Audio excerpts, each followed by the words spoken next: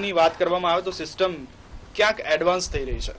પહેલા જોતા હતા કે રિક્ષાઓમાં પ્રચાર થતો હતો ગાડાઓમાં પ્રચાર થતો હતો કે ભાઈ મતદાન મથક સુધી પહોંચો મતદારોને આકર્ષવા માટે ઘણા બધા પ્રયત્નો થતા હતા.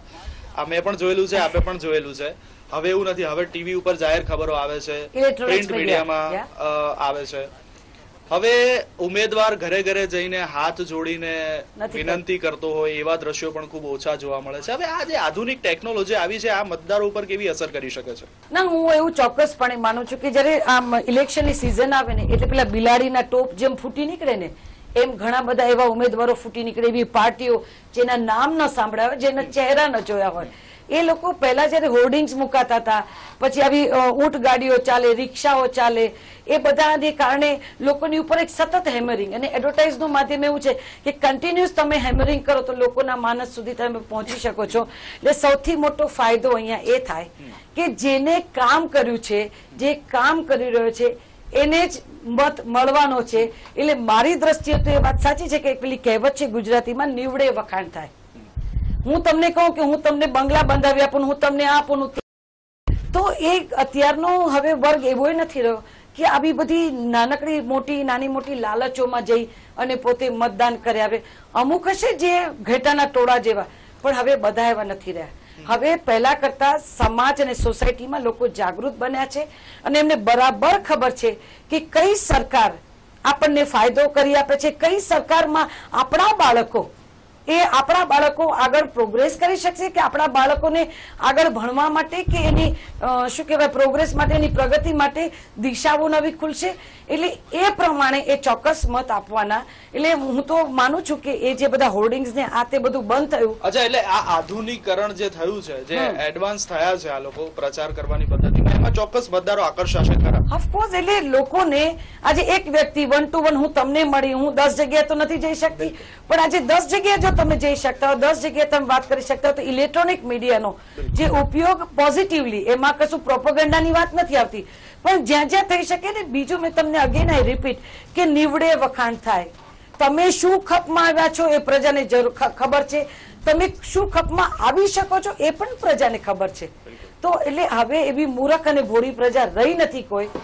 કે તમે કો એ માની લે એટલે ને જા બચ્ચા એ મિલેગા એટલે એવું બધું નથી. ઓકે ભાવિનીબેન આ આજ સેમ સવાલ આપને પૂછીશ, રુઝાનજી, કે જે આપણે ટેકનોલોજીમાં આગળ વધ્યા છે જે ઇલેક્ટ્રોનિક અને પ્રિન્ટ મીડિયામાં પણ જે રીતના મતદારોને આકર્ષવા માટેના પ્રયત્નો થઈ રહ્યા છે. તમને શું લાગે છે કે મતદારો ખરેખર આકર્ષાશે અને મતદાનનું પ્રમાણ વધશે? side. Technology અત્યારે ઇન્ફોર્મેશન ઓવરલોડ થઈ રહ્યો છે.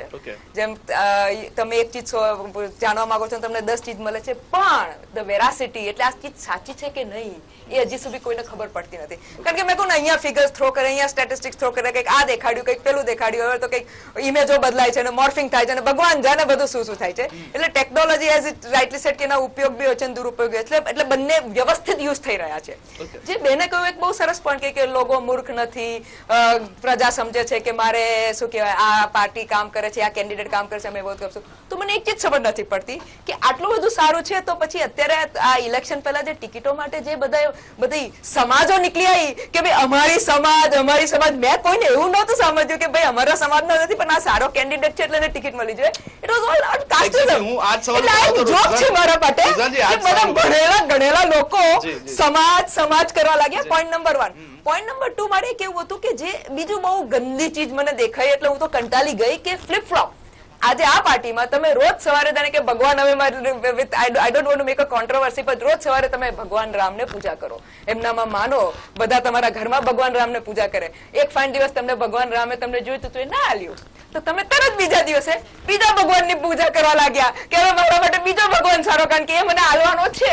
એટલે જે રીતે લોકોએ પાર્ટી બધીને શું કહેવાય, ટિકિટો માટે અહીંથી ત્યાં ગયા છે અને ત્યાંથી અહીં ગયા છે. This is all very disgusting તો આપણને હસવું આવે છે. ઇટ ઇઝ અફેક્ટિંગ કે આ આ રીતનું આ રીતના લોકો સત્તાના ગાડા છે પાવરના ગાડા છે, ઘેલા છે.